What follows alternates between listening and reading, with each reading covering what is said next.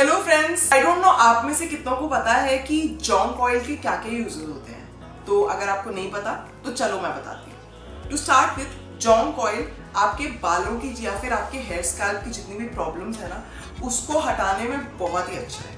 अगर आप एलोपेशिया से गुजर रहे हैं, या फिर आपको हेयर फॉल हो रहा है, या फिर कोई स्कैल्प इन्फेक्शन या डैंड्रफ है तो उसके लिए भी ये नेचर शॉम का जॉन्क ऑयल बहुत ही अमेजिंग है।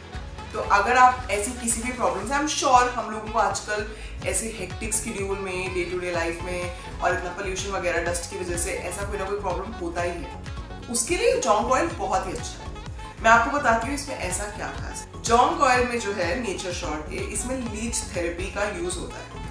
लीच थेरेपी बहुत पहले के टाइम से लोग इस्तेमाल करते आ रहे हैं।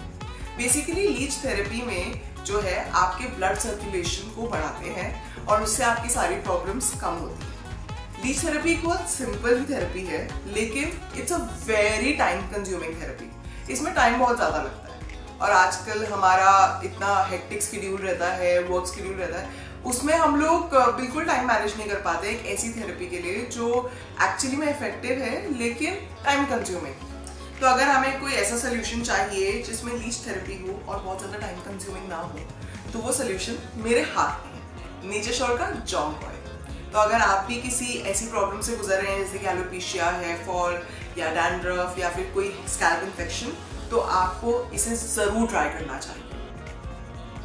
This is 100% genuine. The only change is the packaging because now W and D का डब्ल्यू इसमें engrossed है।